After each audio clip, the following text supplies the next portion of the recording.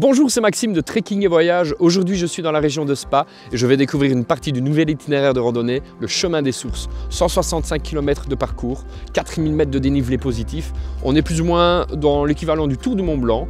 C'est une première en province de Liège. J'espère que vous êtes prêts car ça va me permettre de découvrir de superbes endroits, comme ici le domaine de Berinzen. C'est parti